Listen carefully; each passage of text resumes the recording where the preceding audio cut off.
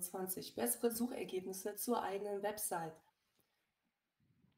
Das ist das Thema des heutigen Morgens und das ist auch sehr spannend, dass ähm, sich doch äh, Leute, äh, die äh, hergefunden haben, um sich dem Spezialthema zu widmen. Denn, ähm, Linkaufbau wird oft vernachlässigt.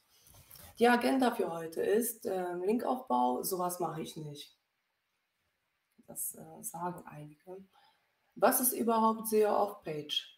Rankings und Backlink-Profile aus der Praxis, SEO Off-Page Tools und Fragen.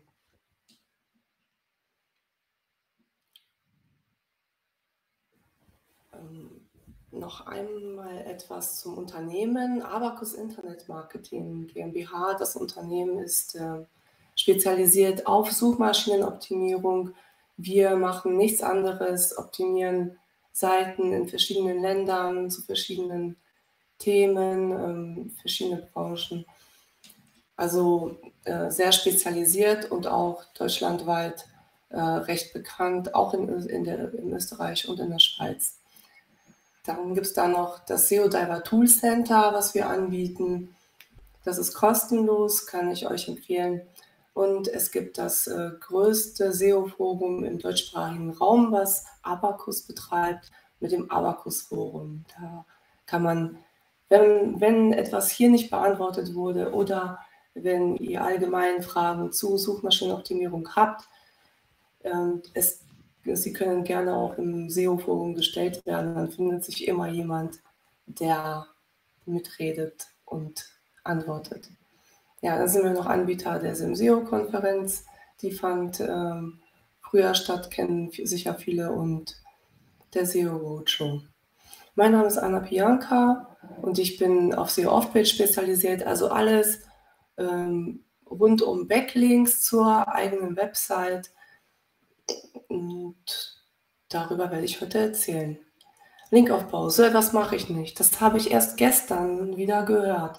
Linkaufbau ist ein Wort, was, ähm, was sich ziemlich, also was ziemlich negativ äh, behaftet ist, zum Teil bei äh, Leuten in verschiedenen, in verschiedenen ähm, ja, Events wurde das schlecht geredet. Ja, Linkaufbau wird nämlich mit Spam gleichgestellt.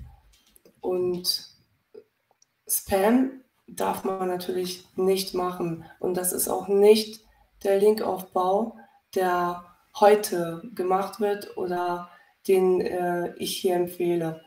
Also was man nicht machen darf, ist, ist zum Beispiel Links veröffentlichen, einfach nur, damit sie da sind, Links, die nichts nützen, Links, die kein, keine Begründung haben, einfach nur damit Links gesammelt werden. Es gibt zum Beispiel auf eBay äh, die Möglichkeit, Linkpakete zu kaufen und äh, manche äh, bestellen auch Links in anderen Ländern, zum Beispiel um anderen zu schaden. Sowas gibt es auch, um der Konkurrenz zu schaden. Also ähm, zumindest wird darüber gemunkelt. Ja, es gibt Links, äh, die, die in äh, Texten eingebunden sind, die geklaute Inhalte haben, Texte ohne Aussage und äh, Verlinkungen, die auf, sich auf Websites befinden, die nichts mit dem Thema zu tun haben, wie, ähm, also gar nicht zu der Zielseite passen. Also solche Sachen Darf man natürlich nicht machen. Und Linkaufbau funktioniert auch heutzutage ganz anders. Das erzähle ich euch. Was ist SEO Off-Page?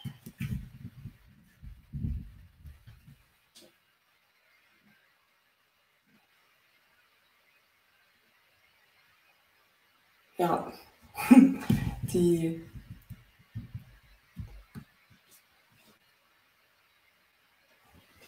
Die Off-Page-Optimierung ist, ähm, ist das, dass man eine Relevanz erzeugt für die Suchbegriffe mm, in Kombination mit den Inhalten, die von außen bestätigt werden. Das bedeutet, also ähm, es steht etwas, es steht etwas auf einer Website Und natürlich möchte man dafür gefunden werden. Deswegen seid ihr auch hier. Ihr wollt, dass eure Inhalte im Internet besser ranken, beziehungsweise die Inhalte eurer Kunden. Und das passiert, wenn die Inhalte relevant sind. Und diese Relevanz, die setzt sich zusammen aus verschiedenen Kriterien. Einmal sollte der Beitrag mh, hm, informativ sein oder genau die Antworten geben, wonach der User sucht. Und äh, die Bestätigung von außen ist wichtig. Das bedeutet, dass andere mh, hm, darauf verlinken und darüber sprechen. Das ist ein Vorteil für die, ähm, die diesen Inhalt veröffentlichen.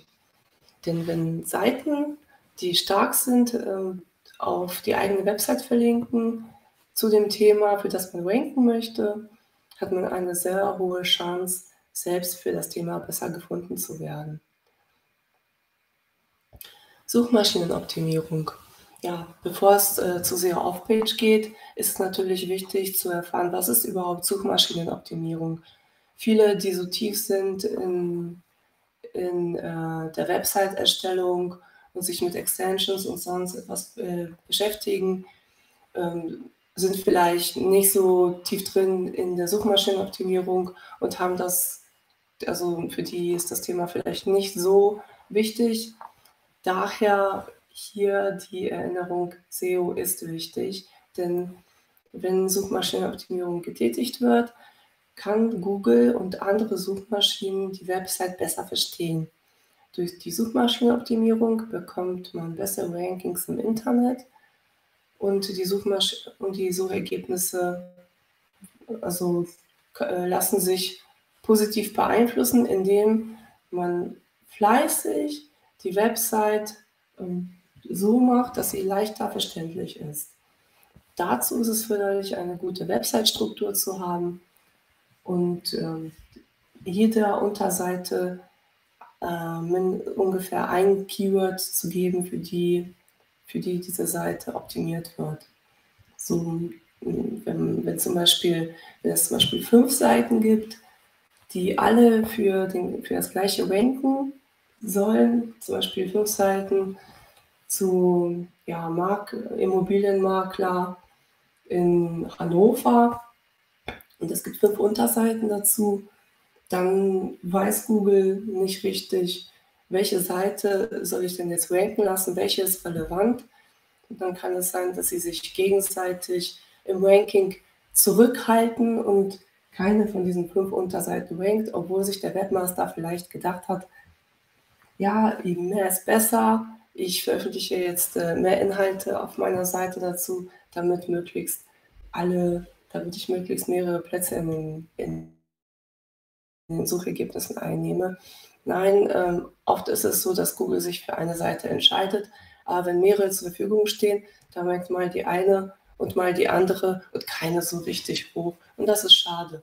Manchmal ist es dann besser, wenn eine Unterseite zu dem gleichen Thema gelöscht wird, beziehungsweise per 301 Weiterleitung weitergeleitet wird.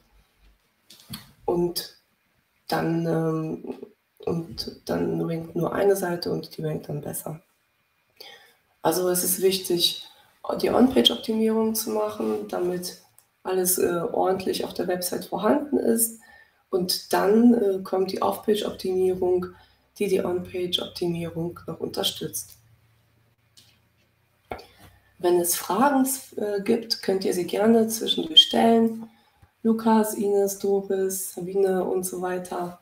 Also ähm, dann könnt ihr euch nach vorne stellen und gerne eure Fragen stellen. Suchergebnisse bei Google werden nach Relevanz sortiert. Also sieht man hier nochmal. Und wir möchten natürlich diese Relevanz ähm, für unsere Kunden ähm, herbeiführen. Und das machen wir, indem wir die Inhalte ähm, der Seite optimieren.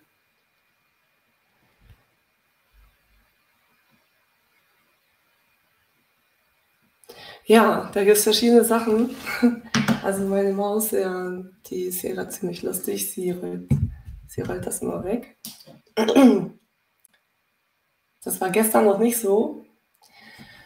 On-Page als Vorbereitung für Off-Page.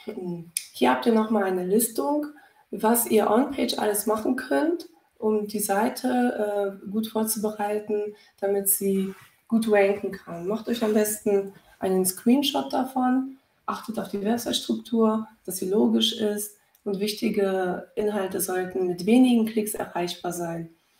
Dann geht es um die Keyword-Zuordnung. Welche Unterseite soll für welches Keyword ranken? Welches ist das Hauptkeyword für diese Unterseite?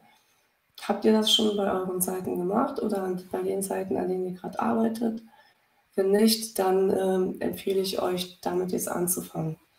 Dann ist es ähm, wichtig, den Titel ähm, so zu schreiben, dass er, dass er das Thema gut wiedergibt, was sich auf der Seite befindet. Und in der Suchmaschinenoptimierung ist natürlich die H1 und die H2 wichtig, weil Google, Google schaut auch, was steht in den Überschriften. In den Überschriften steht in der Regel etwas, was noch wichtiger ist als im Fließtext. Meta-Description, hm, sie ist nicht ähm, ein, akt, äh, ein aktiver Ranking-Faktor, aber ein passiver. Was in der Meta-Description steht, das taucht auch hm, in den Suchergebnissen auf und lenkt dann zu einem Klick zur Seite. Ja, der Content ist das Allerwichtigste. Ähm, so wie, so wie der Text geschrieben wird, welche Wörter verwendet werden und, und wie, mm, ein Text, wie Texte auch verlinkt sind auf der eigenen Website, also intern verlinkt. Das hat alles eine Auswirkung auf Rankings im Internet. Als äh, Tipp noch, benutzt verschiedene Content-Arten. Das äh, weckt das Interesse und die Personen verweilen länger auf eurer Website. Eine Content Art ist zum Beispiel ein Video.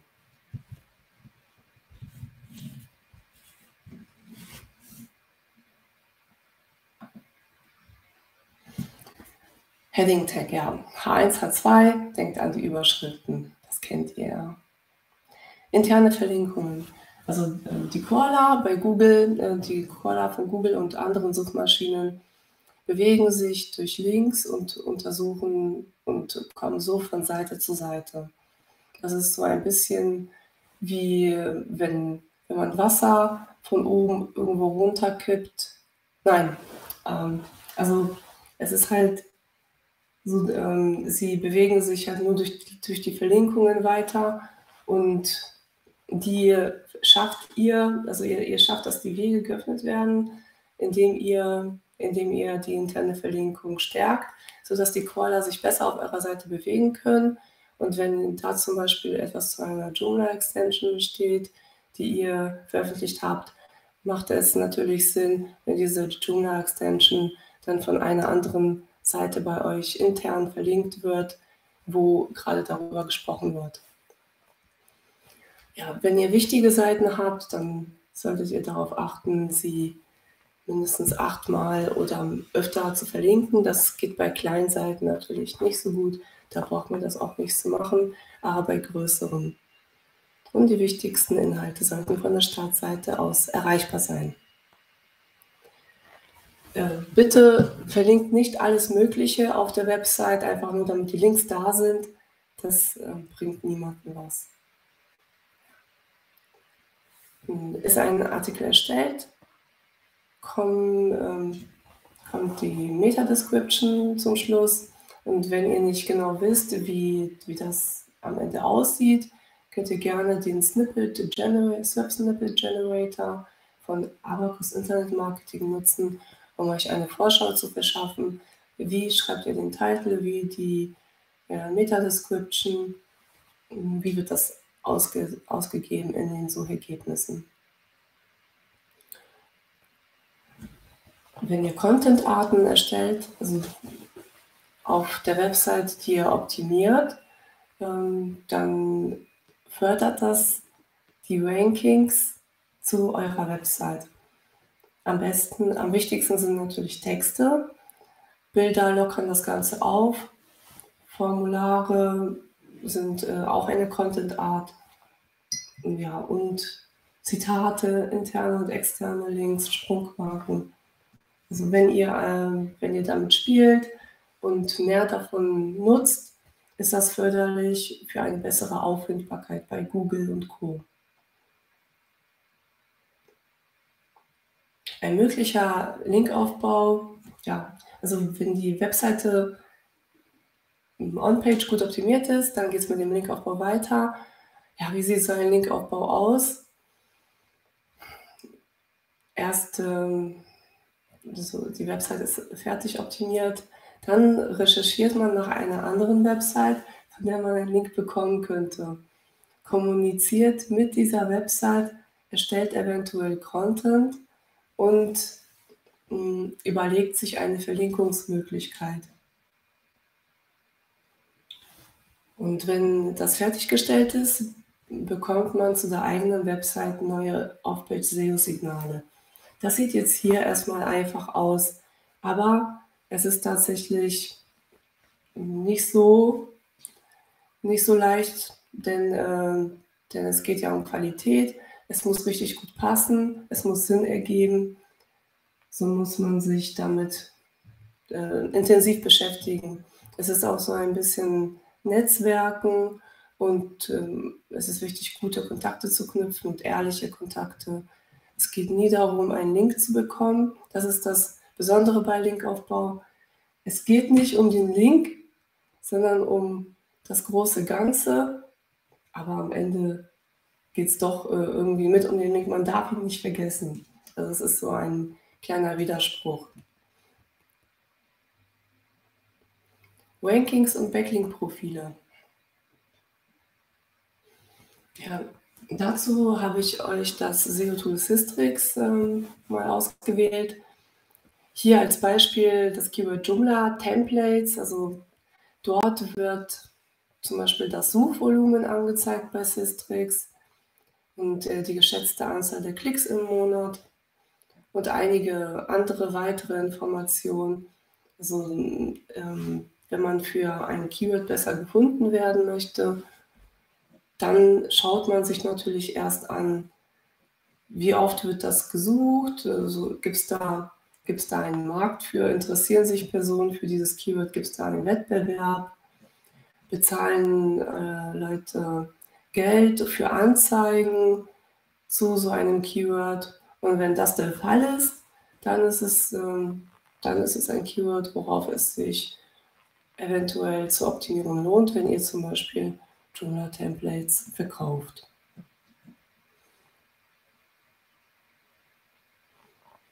Ja, das Suchvolumen ist hier nochmal deutlicher dargestellt. Hier gibt es einen stärkeren Wettbewerb, der sich abzeichnet. Man sieht auch, dass die meisten Personen auf dem Desktop nach äh, diesem Thema suchen und mobil sehr gering. Ja, macht ja auch Sinn. Man arbeitet am Computer und das ist eher so ein Thema, was man, was man nicht am Handy abarbeitet. Anzahl der Suchen, genau, das ist hier. Und hier das Grüne, das ähm, zeigt den, den Trend an. Also wie, wann, wann wird das eher öfter gesucht? Also hier sieht man eher im Winter und dann nochmal im Herbst. Im Sommer wird das weniger gesucht hängt wahrscheinlich damit zusammen, dass im, im Sommer eh, eher weniger Aufträge reinkommen und man sich dafür nicht so interessiert. Der ähm, Systrix kann auch dafür unterstützen, also Systrix kann auch, hier gibt es äh, Fragen, die in diesem, mit diesem Wort zusammenhängen. Und wenn äh, jemand von euch zum Beispiel Joomla-Templates anbietet, dann ähm, und besser dafür gefunden werden möchte, dann kann man sich zum Beispiel von hier inspirieren lassen und ähm, solche Fragen mit aufnehmen sich zu überlegen, wofür möchte ich denn gerne einen Artikel erstellen? Ähm, Habe ich denn schon einen Artikel dazu, wo ich erkläre, was das CMS Joomla ist oder, ähm, oder was Templates was CMS-Templates allgemein sind. Ja, so kann man sich inspirieren lassen. Hier gibt es auch noch weitere Fragen. Und äh, dann gibt es auch noch ähnliche Suchvorschläge. Das äh, Suchvolumen, also das sind dann Keywords, die mit dem angefragten Keyword zusammenhängen, aber nicht genauso gleich sind. Hier werden also damit zusammenhängende Keywords angezeigt, davon gibt es noch viel mehr. Und hier ist das entsprechende Suchvolumen dazu. Wenn, ähm, wenn man Inhalte optimiert auf der Website, dann lohnt es sich natürlich für äh, Wörter zu optimieren, die ein höheres Suchvolumen haben und die trotzdem mit dem matchen, was man anbieten möchte und sagen möchte. So, ich habe mir jetzt die ersten 15 Suchergebnisse anzeigen lassen bei Systrix zum Wort Joomla Templates und um zu gucken, wer, wer wird denn dafür gefunden, wie ist das Ranking. Hier sieht man, dass es 15, also in den 15 Suchergebnissen, hier sind ein paar für mich Bekannte dabei, ihr kennt sicher noch einiges mehr. Klar, klar dass Joomla.de dafür rankt, weil das ja die offizielle Seite ist. Hier sieht man auf Platz 5 Ionos. Um, und Ionos ist auch hier Sponsor der Veranstaltung. Daher ist das äh, strategisch sehr gut, dass sie Sponsor sind, weil sie sich anscheinend in diesem Thema einsetzen. Sie, also hier sieht man auch, dass äh, die ersten Suchergebnisse die meisten Klicks bekommen und je weiter es geht, desto weniger Klicks gibt es. Hier sieht man zum Beispiel HubSpot. Äh, HubSpot hatte letztens einen Vortrag gehalten, so vor einem Monat auf der SEO Campix. Die haben eine ganz ausgefeilte äh, Content-Strategie, wie sie, wie sie Inhalte erstellen und äh, fahren sehr gut damit. Da war ich gerade in einem anderen Vortrag und habe es leider verpasst. Aber ähm, die, bei denen weiß ich, dass sie sich auch äh, strategisch speziell überlegen, wie und worüber sie schreiben und wie genau sie das tun, damit sie halt auch bessere Rankings in dem Bereich erhalten. Bei den ganzen anderen, also das ist, das äh, ist dann auch mit Sicherheit berechtigt und ähm, den Oliver Feil, den habe ich auch in verschiedenen Zusammenhängen schon ranken sehen in Bezug auf Joomla. Hier sieht man auch noch Redim auf Platz 15. Das, äh, der ist ja auch, also das Unternehmen ist auch Sponsor der Veranstaltung und man sieht auch, es ist vernünftig, Sponsor zu sein, wenn man sowieso für diesen Bereich ranken möchte. Backlink-Analyse. Also wenn ihr SEO-Aufpage für eure eigene Website machen möchtet oder für die Website eurer Kunden, ist es wichtig, sich auch die bestehenden Backlinks anzuschauen. Welche Backlinks gibt es? Wie wird über das Unternehmen geschrieben? Sind Backlinks verloren gegangen oder kaputt? Wenn man das festgestellt hat, dass ein Backlink weg ist, der für jemanden wichtig war, zum Beispiel, ähm, ihr wurdet von joomla.de verlinkt und der Link ist weg, dann lohnt es sich, da einmal nachzufragen, ähm, was denn passiert ist und vielleicht ähm, ja, uns zu bitten, dass ihr vielleicht wieder verlinkt werdet. Welche Links wurden bis jetzt versäumt? Ja, was machen die anderen, was ihr nicht macht?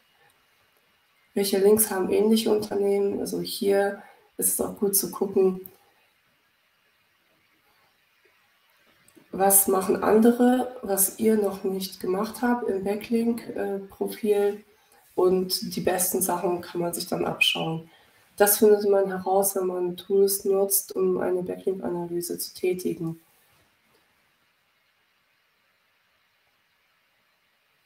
Dazu eignet sich zum Beispiel Ahrefs, ist aus dem asiatischen Raum und wird äh, sehr gerne genutzt für diesen Bereich rund um Backlinks herum. Ich habe mir hier die relativ neue Website äh, genommen, also Joomla.de Dach online. Und hier sieht man, ja, die Seite gibt es halt erst seit kurzem. Da gab es bis jetzt da gab's gar keinen Backlink. Das ist halt erst ganz äh, spät gekommen, natürlich, weil die Seite ja ganz neu ist. Aber sie hat sehr schnell an Relevanz gewonnen und ähm, hat dementsprechend auch hier mh, hm, schon recht zügig ähm, ein Ranking, ein Rating, ein positives Rating bekommen. Äh, Im Link-Building achtet man darauf, wenn man eine Backlink-Analyse macht, was für verweisende Domains es gibt, mit welchen Keywords eine Seite verlinkt wurde und wofür sie rankt. Hier steht, wie viele Backlinks es gibt, aber das ist nicht so relevant, weil wichtig die Zahl ist, von wie vielen Domains diese Backlinks kommen. Wenn zum Beispiel von einer Domain, von allen Unterseiten auf etwas verlinkt wird, dann hat man vielleicht 300 Backlinks, aber am Ende zählt das Google so wie ein Link, weil das alles von einer Domain kommt.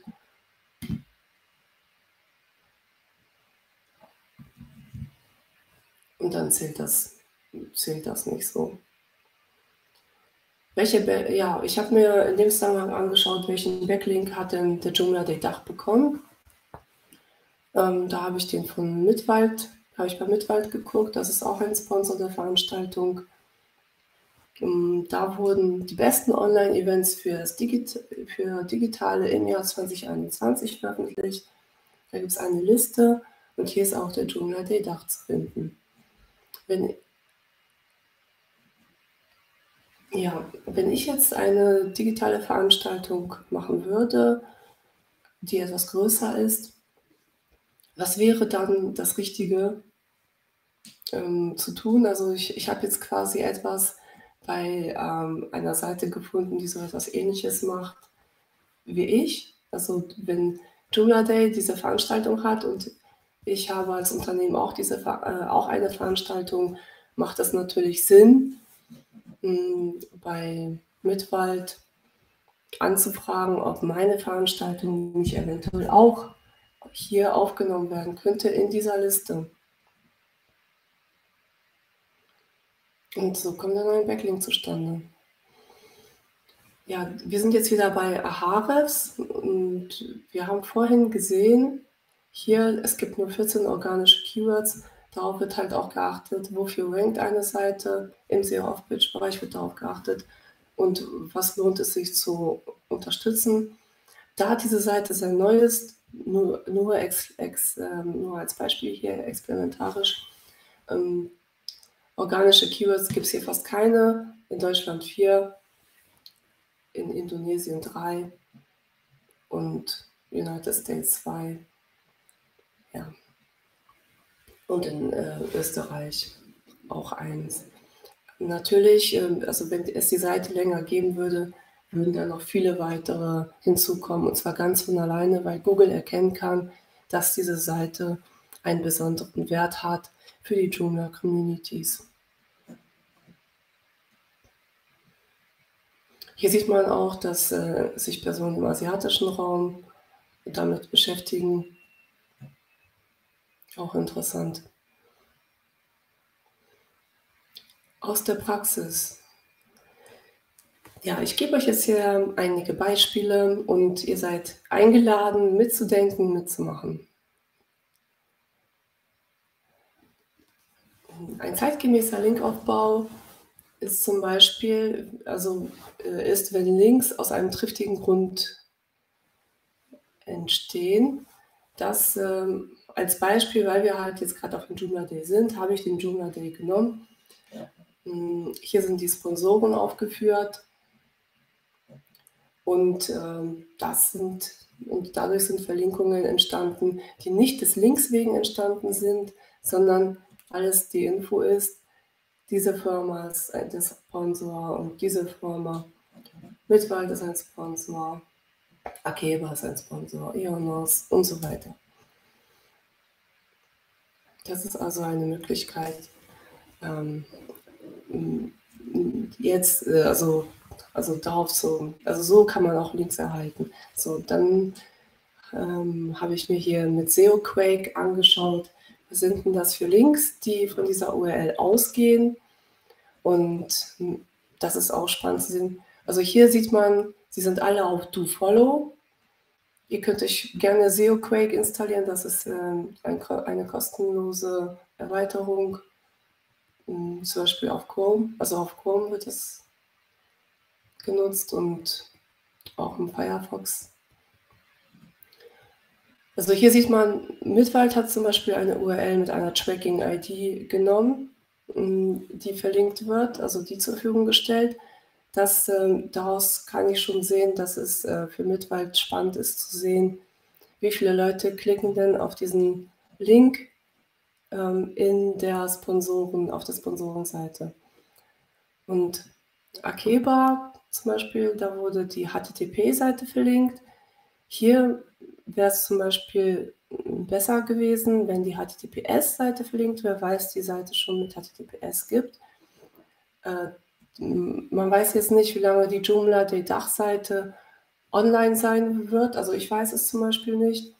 Und ähm, aber wenn man zum Beispiel auf irgendeiner anderen Seite einen Link bekommt, dann lohnt es sich mehr schon die neuere Seite zu verlinken mit, der, mit HTTPS und nicht mit HTTP, weil die HTTP-Seite, die wird per 301 weitergeleitet auf die HTTPS-Seite, ist ja in der Regel so, und durch eine Weiterleitung geht halt noch ein bisschen Link-Juice verloren. Und Link-Juice ist halt die Kraft von der linkgebenden Seite, davon hat Joomla noch äh, sehr wenig, weil, also diese Joomla Day Dachseite, weil sie ja ganz neu ist, von daher ist es in dem Fall egal, ob die HTTP oder HTTPS-Seite verlinkt wurde. Aber generell, ich habe das als Beispiel hier mit reingenommen, weil ihr darauf achten solltet, die HTTPS zu verlinken. Ja, hier wird zum Beispiel bei Jonos eine Unterseite genommen und äh, direkt, also direkt etwas äh, auf etwas Spezielles hingeleitet. Das ist strategisch ganz gut gemacht. Klassisch, so wie es standardmäßig ist, äh, wenn man Sponsor ist, wird ähm, eine Startseite verlinkt. Und das ist hier auch passiert bei Video. Hier gibt es noch zwei Extensions, die verlinkt wurden. Und das ist dann, ist dann halt auch gut ähm, für die URLs zu den Extensions, dass sie halt auch noch einen Link gekriegt haben. Es ist auch legitim, es sind äh, kostenlose Extensions, die zu diesem Thema passen, worüber äh, da auf der Seite geschrieben wird. Und ein anderer Sponsor, der ähm, hat eine Website mit kostenpflichtigen Angeboten, mit kostenpflichtigen Extensions. Das, wenn ich jetzt der Sponsor wäre, hätte ich, äh, wäre ich jetzt auch mm, Unterstützer des Joomla Days geworden, weil es halt thematisch richtig gut passt. Und dann gibt es hier noch einen ausgehenden Link zu PayPal, da man auch spenden kann, an, ähm, um, um solche Veranstaltungen wie diese zu unterstützen. Und äh, Joomla.org wurde, das ist so ein Link zu einer Quelle, also man kann sich auch, auch von anderen Websites als Quelle verlinken lassen, macht absolut Sinn.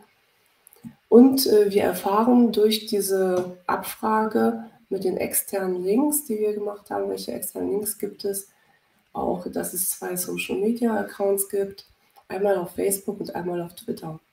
Also wenn man sich, wenn man Tools nutzt, kann man schon so einiges erfahren. Ja, jetzt die Frage an euch. Also stellt euch vor, ihr seid Sponsor und steht nicht auf so einer Liste. Also stellt, ihr, stellt euch vor, ihr, ihr seid Sponsor auf einer Veranstaltung, das, äh, wie dem Joomla Day, zum Beispiel auf einer ganz anderen Veranstaltung, sagen wir mal on, Online Marketing Day, und ihr steht nicht auf der Liste. Was würdet ihr tun? Na, weiß jemand die Antwort?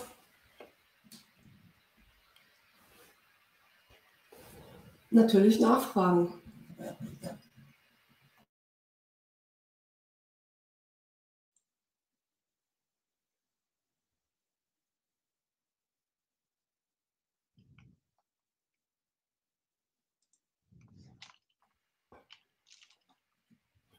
Beziehungsweise mitteilen.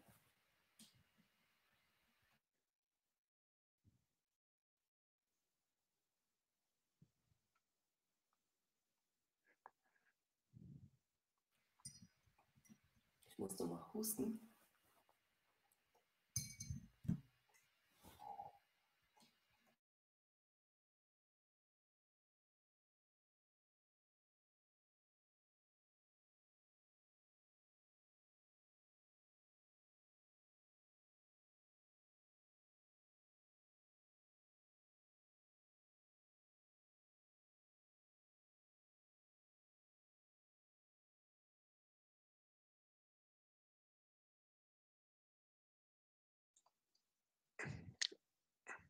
Anna, wir hören dich nicht mehr. Ich musste husten. Ah, okay. aber es geht wieder. Ah, sehr gut.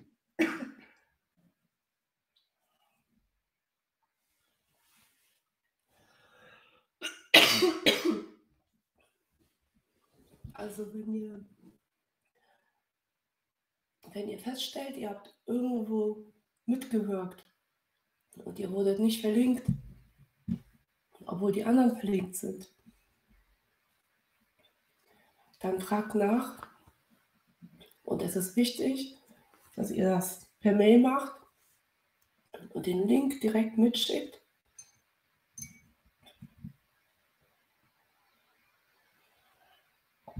Und eventuell auch euer Logo schickt.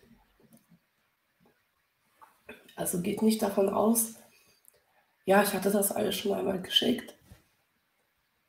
Und ich erinnere einfach mal daran.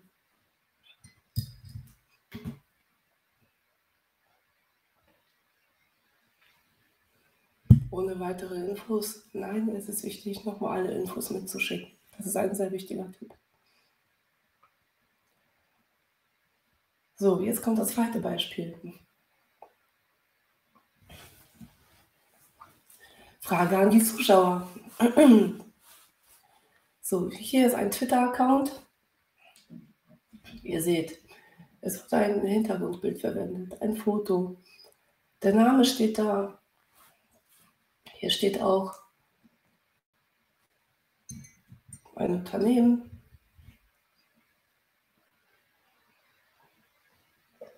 Als Markierung. Und die Stadt. Was fehlt? Wer weiß, was fehlt?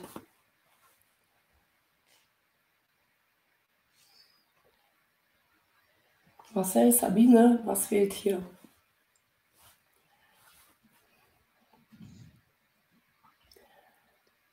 Ja, ihr könnt es euch denken. Natürlich fehlt der Link zur Website. Und das ist dann ganz einfach, ähm, also nutzt die Möglichkeiten, wo ihr Verlinkungen machen könnt, um diese Links auch wirklich zu setzen. Das habe ich jetzt nachgetragen und jetzt ist der Link auch da. Also nutzt Verlinkungen zu eurer Website ähm, auf Social Media Profilen, beziehungsweise wenn eure Kunden Social Media Kanäle betreuen oder andere Websites äh, oder auf andere Websites gelistet sind, denkt daran, auch Verlinkungen einzufügen. Mm, dann, ähm, also ihr könnt zum Beispiel auch bei Proven Expert ein Profil erstellen und dort bekommt ihr auch einen Link zu eurer Website und eine Beschreibung. Jetzt kommt noch ein drittes Beispiel. Mm, ähm, denkt daran, also ähm, es ist gut, äh, Fachartikel zu erstellen, Gastartikel.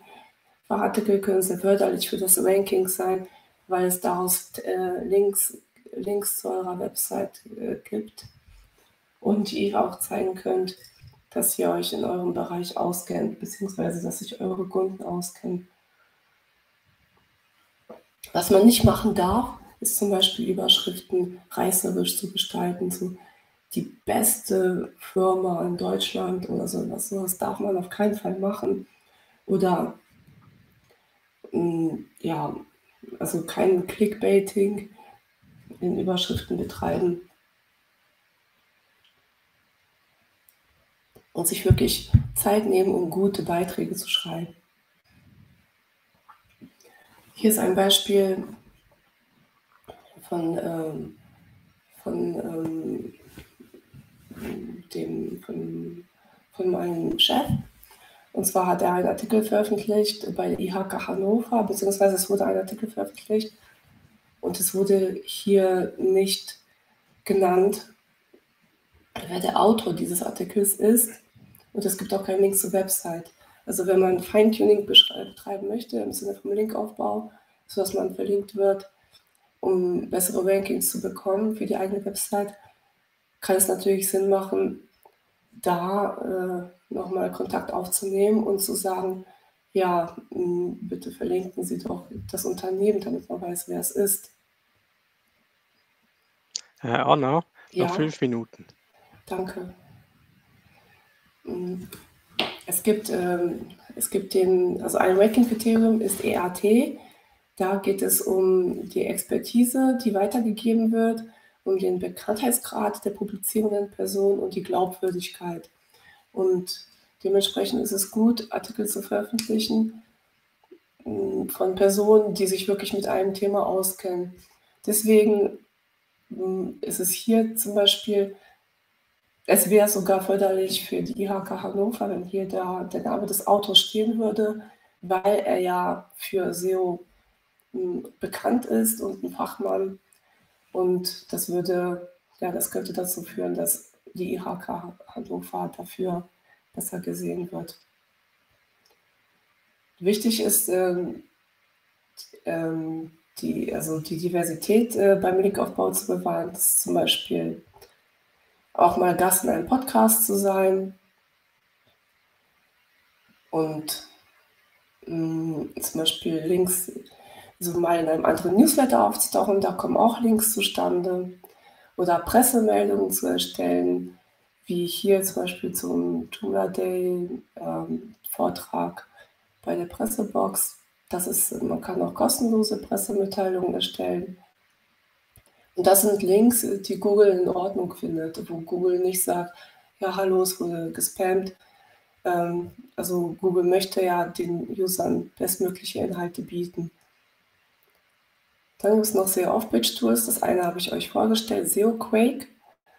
Und ähm, der SEO Diver kann auch einiges, zum Beispiel mit dem Link-Check, lassen sich ähm, dort äh, könnt ihr euch könnt ihr eine Website einfügen und euch alle gefundenen Backlinks anzeigen lassen in einer Excel-Tabelle. Und das ist kostenlos und das ist eine ganz tolle Sache. Da steht sogar ähm, ob der Link DoFollow oder NoFollow ist, ob Google dem Link folgt oder nicht, welcher Linktext verwendet wurde, also Ankertext bedeutet Linktext und sogar, wo sich auf der Seite der Link befindet. Denn wenn sich der Link zum Beispiel oben befindet, ist das zum Beispiel besser, weil er dann wahrscheinlicher geklickt wird im Text.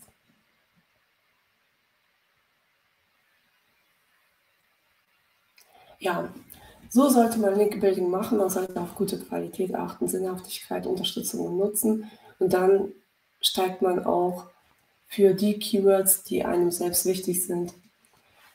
Ich danke euch, äh, dass ihr, dass, dass ihr da teilgenommen habt. Ich bin heute leider ein bisschen erkältet. Das ist, das ist schade, aber der Vorteil von so Online-Veranstaltungen ist, dass man, dass man niemanden anstecken kann. Ja, herzlichen Dank an Anna. Ähm, Applaus bitte. Und äh, ich weiß nicht, ob äh, der, der Michael vielleicht noch eine Frage hat. Er steht gerade auf der Bühne. Ja, ähm, Michael? Bitte. Nee, keine Frage. Also ich freue mich über Fragen. Das, ist, das macht das Ganze eigentlich am spannendsten. Da, erfährt, da erfahren die anderen auch nochmal Sachen, die sie so vielleicht nicht erfahren würden. Die Doris hat eine Frage. Bitte. Doris, Mikrofon. Ja, super. So, jetzt habe ich Ton. Ja. Erstmal ganz herzlichen Dank, liebe Anna. Anna, das, der Vortrag war wirklich sehr informativ, hat mir wirklich auch einiges gebracht. Ich habe äh, verschiedene Webseiten, aber auch mit sehr, sehr viel Inhalt. Ich scheue mich eigentlich auch davor, externe Links, also diese ganze Bannerwerbung und sowas, bei mir ist keine einzige Werbung drauf. Also ich habe zwar, weil ich Fachseiten auch mache, zur äh, fachlich in, gute Inhalte auch die Links gesetzt, Ähm, aber ich werde mich jetzt bemühen, ähm, noch weitere Verlegungen zu machen. Es ist aber natürlich schwierig, die Leute auch darauf anzuspringen. Ich will mich sagen, nicht auch verbetteln oder es, wie soll ich es, also, also es ist mir, mir fällt es wirklich schwer, auf andere zuzugehen und sagen, hier, guck mal, das ist eigentlich eine sehr interessante Seite. Ich habe sehr, sehr viel Content drauf, also bei mir gibt es Videos, alles, alles da, ne? bloß mir äh, fehlt eben das Ranking in der Website. Ich werde eben noch nicht gefunden. Es sind auch spezielle Themen. Äh, deswegen will ich jetzt auch keine Millionenpublikum, weil ich habe, äh, ich spreche nur einen bestimmten Personenkreis an. Und ähm, nun ist es eben so, was mir auch noch, also wie gesagt, der Vortrag war top. Meine Frage ist jetzt hier bei den Description, äh, sind die äh, wichtig, in der welchen Reihenfolge die dann auf der Webseite kommen? Also, weil du kannst ja dann den Namen, die Beschreibung und, und, und, die Keywords, was da alles so in den Headern drin ist, oder spielt das für Google gar keine Rolle? Und dann ist die Frage, ist das nur auf Google bezogen, weil es gibt jetzt momentan auch sehr viel mehr ähm, Suchmaschinen, ob das nun ähm, ja, Yahoo, Bing und wie sie alle heißen. Äh, ja. Oder, weil ich weiß auch, dass die alle auch unter, mit unterschiedlichen Krabbler da durchgehen. Ne? Und jetzt, wenn man sich das anguckt, die Statistik, wer nun alles über die Webseite geht, sind ja doch extrem viele, die eben über diese, die ganzen Webseiten speidern. Äh. Und da sehe ich eigentlich auch noch eine Gefahr. Also ich will auch nicht, dass jetzt hier zu viele Spammer, es gibt ja so viel gegen den seriösen, auch unseriöse Sachen, die da eben kommen und eigentlich auch nur die Webseite nur mit Last besch äh, beschäftigen. Also das okay. soll ja auch nicht sein. Ne? Ja, also ich versuche die Frage schnell zu beantworten, weil wir ja, glaube ich, keine Zeit mehr haben. Mm, also die Meta-Description, das ist eigentlich das, was, was du zu jedem Artikel schreibst und das, was auftaucht, wenn jemand deinen Artikel bei Google findet in den Suchergebnissen. Das sind dann die, diese zwei Sätze, die, also da kommt ja immer die Überschrift in einem Suchergebnis und dann so zwei Sätze, das ist das. Und deswegen gibt es da keine Reihenfolge, weil du machst es zu jedem Artikel einzeln. Alle Artikel, die du auf deiner Website hast, dann machst du eine Description zu, eine Meta-Description. Da schreibst du in, in, zwei, in zwei Sätzen ungefähr, in Stichworten, was sich da, warum man darauf klicken sollte, so ungefähr. Und, ähm, und äh, es ist eigentlich so, dass, also bei mir ist es so, ich werde gebeten, Gastbeiträge zu schreiben, weil jemand nach dieser Expertise sucht und sie halt nicht hat aber sich freut, von der Expertise von jemand anders zu profitieren. Und ich kann mir das auch bei dir vorstellen. Ich weiß natürlich nicht, in welchem Bereich du tätig bist, aber, aber ähm, du, du hast ja auch E-Mail-Kontakt mit anderen. Du hast ja, schau in deinen Posteingang, mit wem hast du schon Kontakt, mit wem machst du was und wo wäre von den Personen etwas möglich, äh, dass man irgendwie noch intensiver zusammenarbeitet oder dass man sich auch gegenseitig, also nicht gegenseitig, sondern dass äh, sie vielleicht auf dich verlinkt oder dich mal interviewt in ihrem Blog oder er. Also da gibt es verschiedenes. Es gibt auch Facebook-Gruppen, wo sich Gleichgesinnte vereinigen, zum Beispiel in der Sport- und Fitnessblogger, äh, Sport- und Fitnessblogger-Bereich gibt es die Fiblo Co. Und ähm, dort tauschen sich die Blogger aus und manchmal stellen sie sich auch, also stellt sich auch jemand in einem anderen Blog vor oder sind Gastbeiträge möglich. Das kann ich dir empfehlen.